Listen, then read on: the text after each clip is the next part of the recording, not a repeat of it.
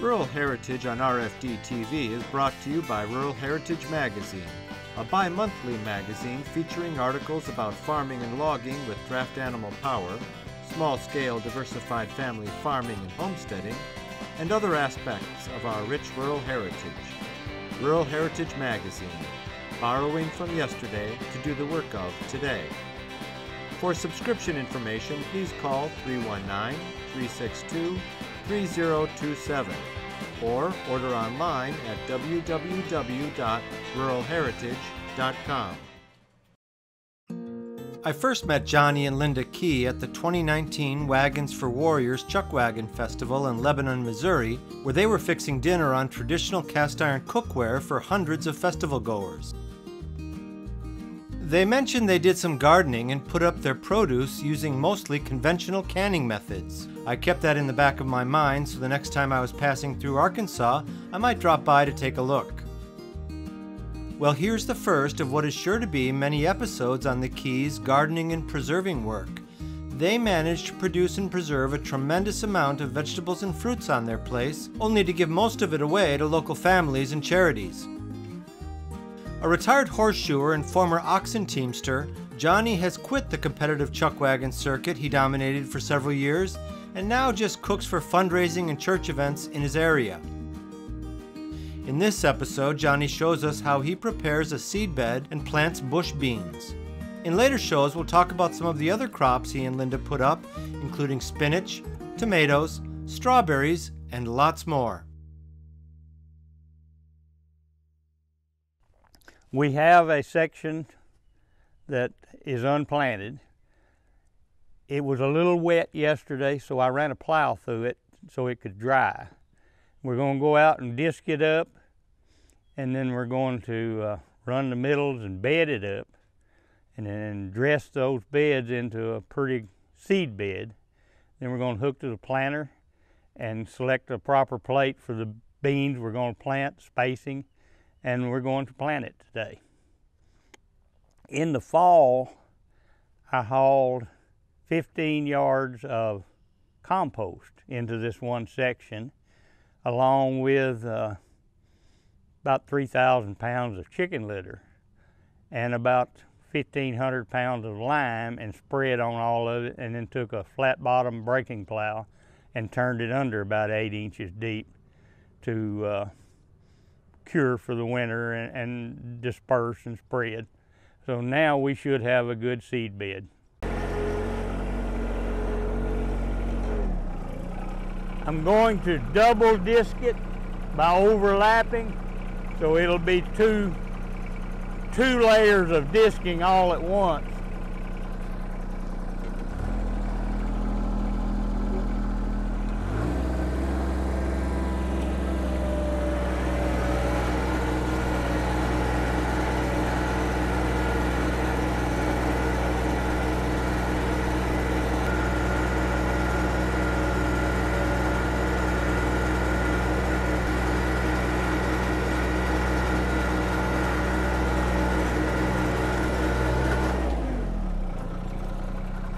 by as I raise my disc, I don't leave a big pile of dirt at the end. It keeps it a little more level.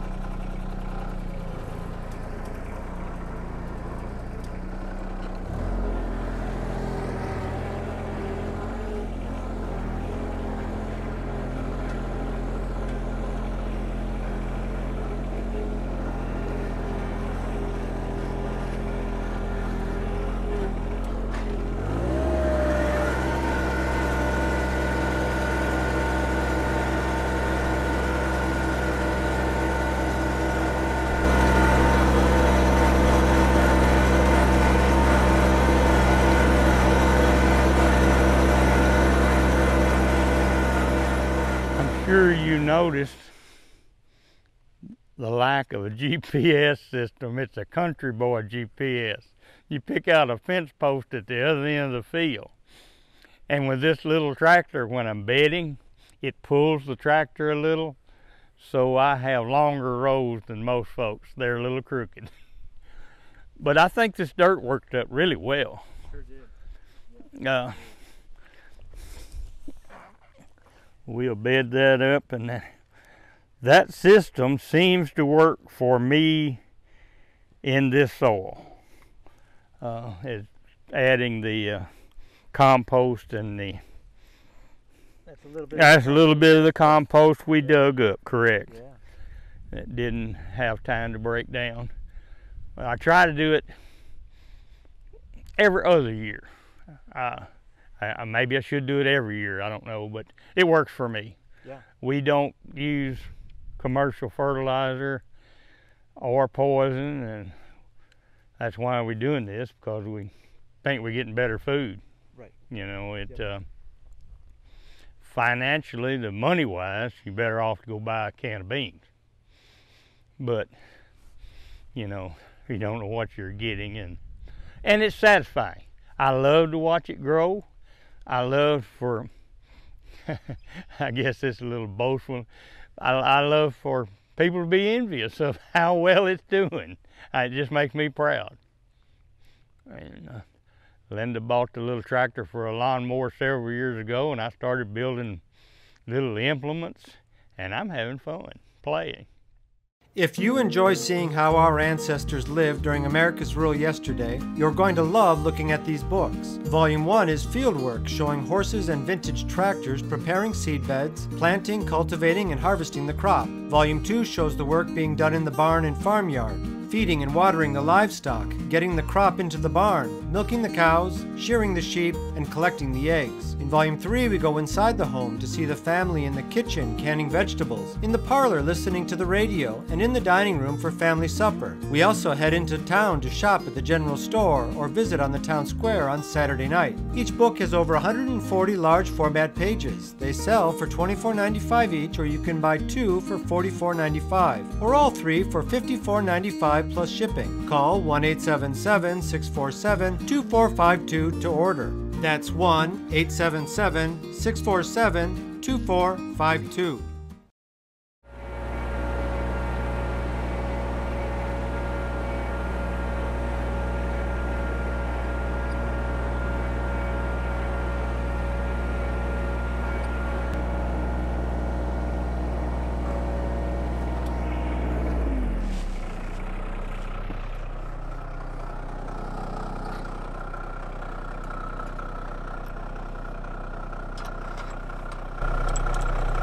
So, how much of this did John Deere build, and how much did uh, Johnny build? This particular disc, I took a horse-drawn disc like that yellow one there, and I took the two axles out from underneath it, and I built everything else. I just welded up a frame and set my axles. Uh, guessed at the uh, pitch of the blades, and someone was taking care of me when it, when I did, because it came out really well.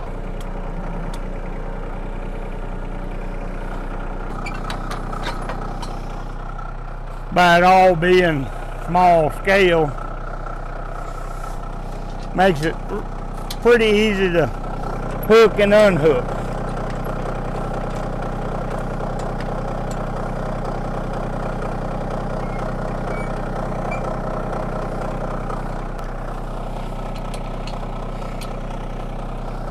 And I have forgot to tighten these stabilizers and when I do it goes wild.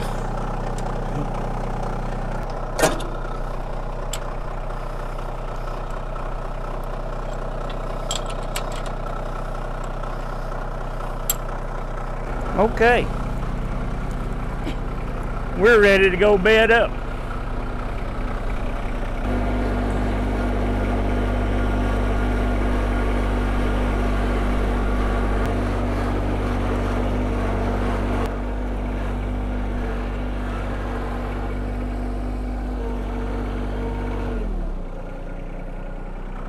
As I mentioned before, this little tractor, those plows will pull it around.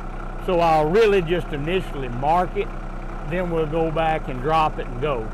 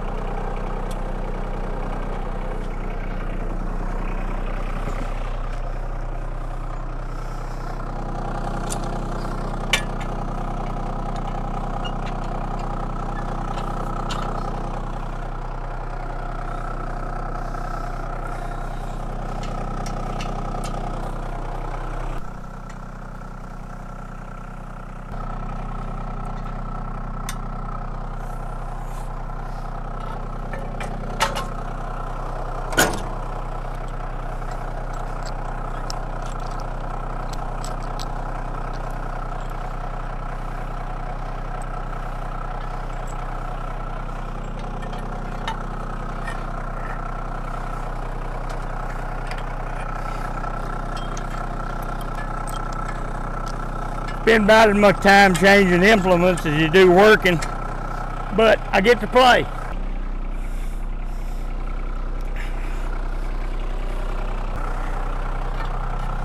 Did you build this most yourself? Yes, sir. Uh, I don't know as I've ever seen anyone using that combination, but and it wasn't perfect the first time I hooked to it. I had to do a little modification, but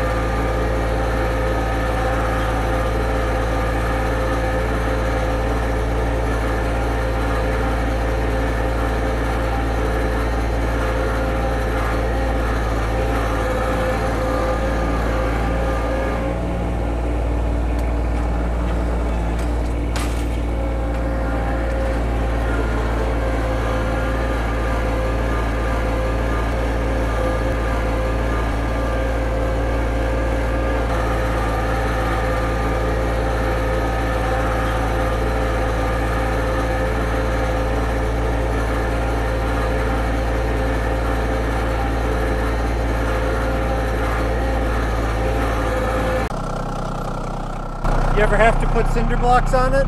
You got that Uh, concrete weight?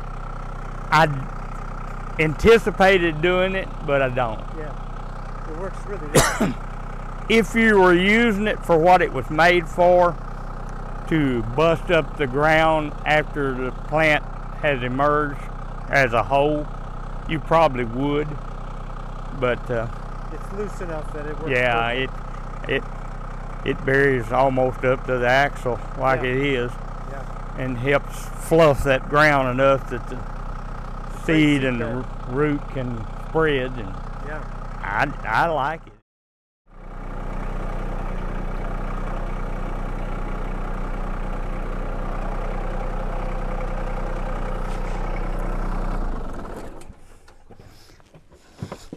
There's an extra piece there that you don't normally see on a planter, but that has a story here too. I've got little plates that will plant cucumber seeds, 16 or 24 or whatever I choose, but you have to have enough seed to cover the bottom of the hopper for it to work properly. And a lot of times when we're just planting one row of cucumbers, just have a little handful of seed.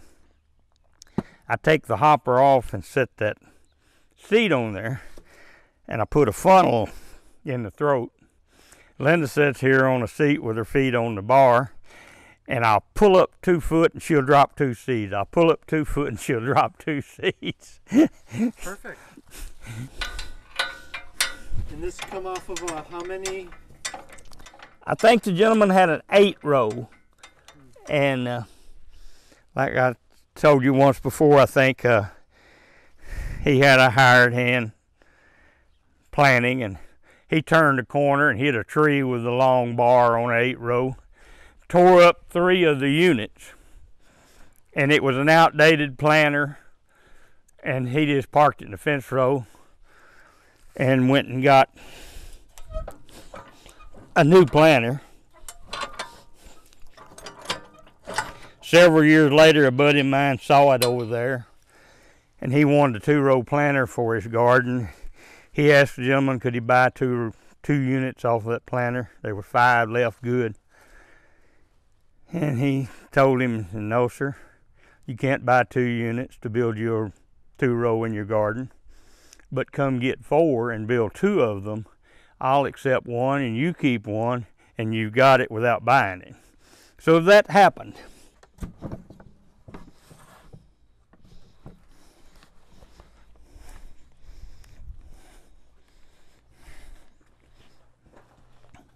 I took the giant hopper that was on a farm planter off, and luckily enough, the bucket had the same diameter, so it worked out perfect to have a little smaller hopper.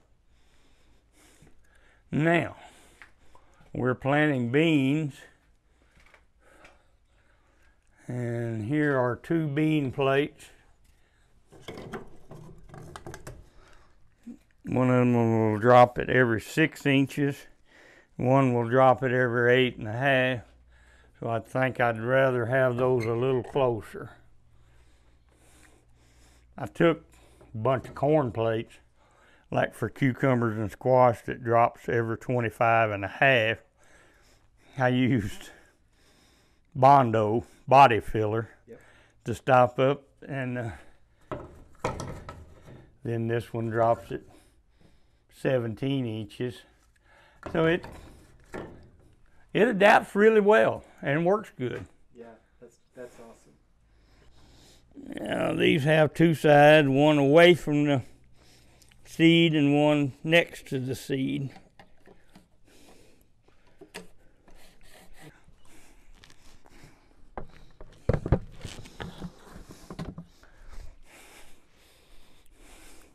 Now that little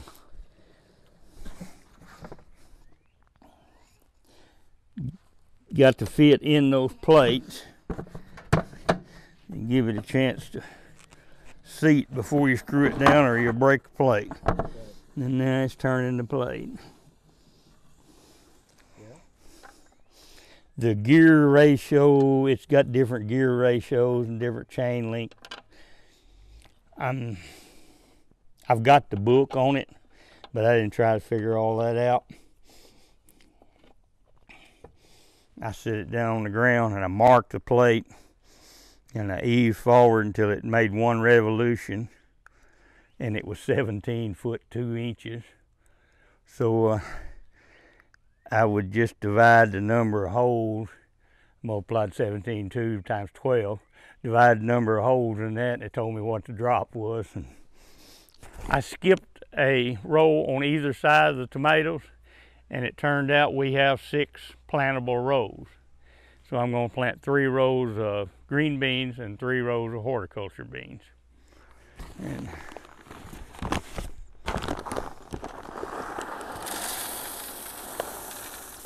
that ought to be enough.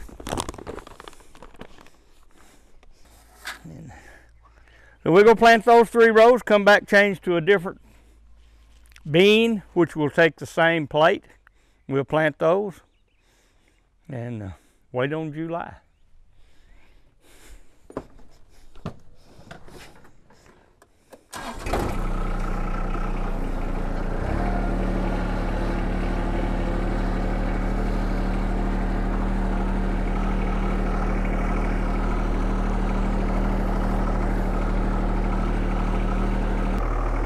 I know you can pull a planter fast but this is an enjoyable part. I go slow and enjoy it. It doesn't last long.